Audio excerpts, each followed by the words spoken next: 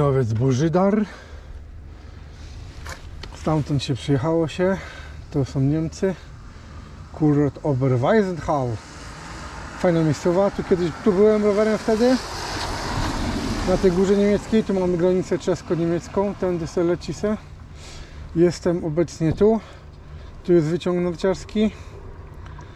Tu stoję na dole na parkingu.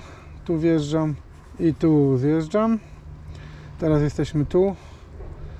A kiedyś jak byłem, to z tego parkingu sobie pojechałem tu, tu, tu, tu, tu, tu laskiem przez Bożydar, tędy na tego Schlichtenberga i tędy tu i od tej strony wjechałem na, na Klinowiec i tu pojeździłem dwa razy.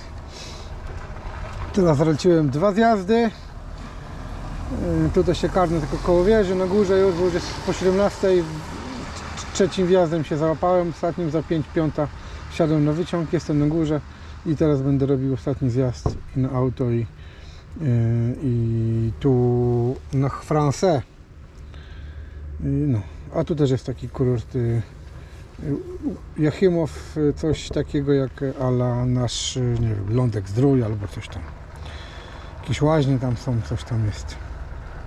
Dobra, to lecimy. Pogoda widać jaka jest. Widać, że nic nie widać.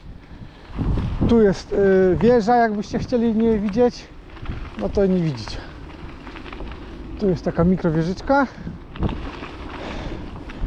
Stary budyneczek. O, jakieś BTS chyba tu są na górze nawet. No i to tak wszystko jest ament w pacierzu. Umarnięte. O właśnie, jakaś fota się przydała, żem trafił. Klinowiec.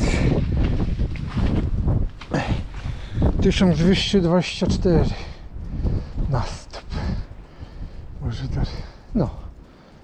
Dobra, będzie. To przyspieszamy.